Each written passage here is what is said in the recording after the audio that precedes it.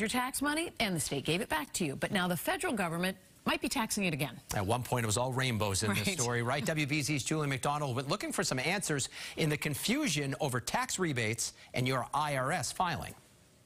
A timeout on tax prep for millions of Massachusetts neighbors, more than two weeks into tax season. It's a surprise because I was getting ready to do my taxes because I'm going to be leaving the country.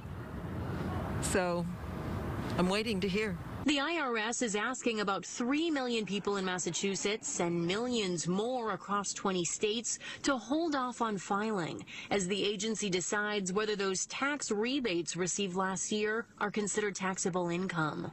The rebate was intended to kick in when the state overtaxes people. Paul Craney with the Mass Fiscal Alliance calls the IRS request a mixed message from the federal government, a surprise tax on money that was returned as relief. It's almost like they're they're trying to squeeze us. Uh, they're trying to nickel and dime us. They're trying to pickpocket us right now.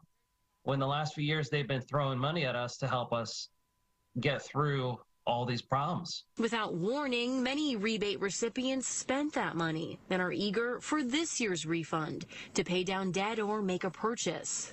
Quality of life is definitely going down for the average person. And I think a lot of people are feeling that in their bottom line when they're grocery shopping or doing anything that you have to do. Like, it's not expenses that you can live without anymore, it's expenses that you need food, rent, utilities, electricity, gas. So. The IRS hopes to provide more clarity by next week. In the meantime, you could seek some guidance from your accountant. Craney recommends letting your representative or senator know how this impacts you. In Boston, I'm Juli McDonald, WBZ News.